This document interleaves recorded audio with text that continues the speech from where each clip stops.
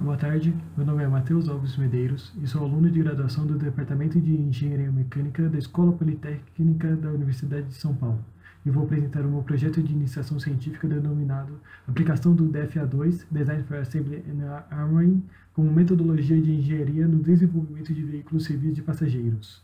O meu orientador foi o professor Paulo Kaminski e meu co-orientador foi o professor Guido Cândido. A minha apresentação é dividida em objetivos, motivação, métodos e procedimentos, resultados, conclusões, contribuições e agradecimentos. O objetivo desse trabalho foi apresentar e propor uma metodologia inovadora e profunda de revisão sistemática de literatura para obter as referências mais relevantes relacionadas a um determinado assunto. E, para exemplificar e validar essa metodologia, ela foi aplicada em um estudo de caso relativo ao Design for Assembly and Armoring, uma proposta de desenvolvimento de engenharia para proteção balística aplicada em veículos civis. A motivação para se procurar as referências mais relevantes relacionadas ao Design for Assembly and Armoring é que o Brasil é atualmente o maior mercado de veículos civis blindados do mundo, tendo blindado 12 mil veículos civis em 2018, totalizando uma frota de 210 mil veículos civis blindados naquele ano. Para comparar, o segundo maior mercado de veículos civis blindados é o México, uma frota de 50 mil veículos em 2018. Apesar de ser o maior mercado, da, muitas das blindadoras do Brasil não aplicam os critérios e requisitos de engenharia das montadoras, o que resulta na perda de funcionalidade de, de componentes e também na perda de diversas garantias.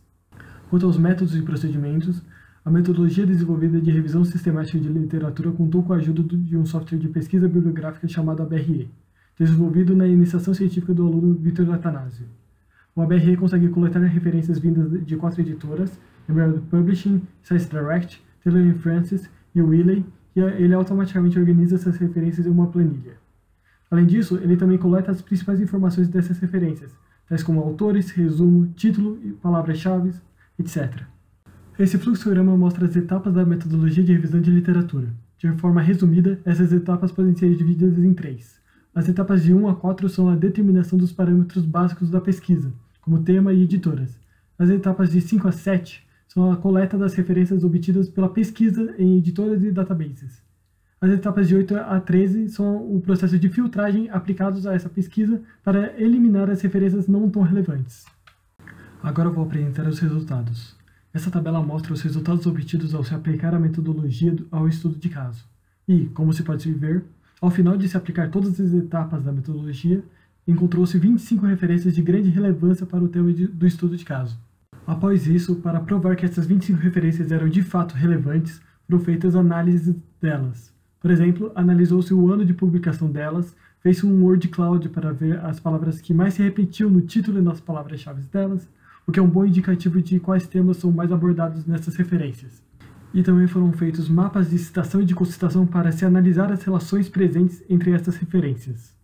Por último, analisou-se cada referência por inteiro e identificou-se os temas relevantes ao tema do estudo de caso que eram abordados por cada uma delas. Esses temas são Assembly, Automotive Product Development, Assembly and Serviceability, uh, Environment and Product Lifecycle, Manufacturing e Project Management. Nessa tabela, zero significa que o tema não foi abordado pela referência, um sinal de mais significa que o tema foi pouco abordado, e dois sinais de mais significa que o tema foi muito abordado. Como conclusão, temos que realmente foi desenvolvida uma metodologia inovadora de revisão sistemática de literatura. E, aplicando ela em estudo de casos sobre o Design for Assembly and Armoring, foi possível encontrar 25 referências de grande relevância para o tema.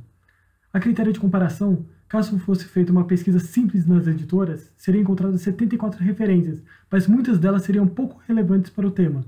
Então a metodologia consegue selecionar as melhores referências de estado da arte em relação a determinado assunto, e pode ser utilizado em diversas áreas do conhecimento.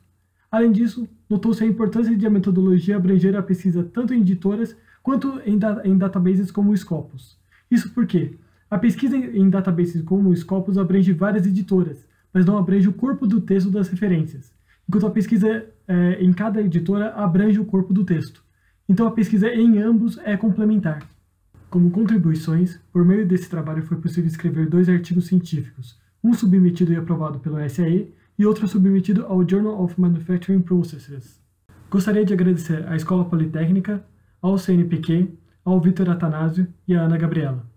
Obrigado pela atenção.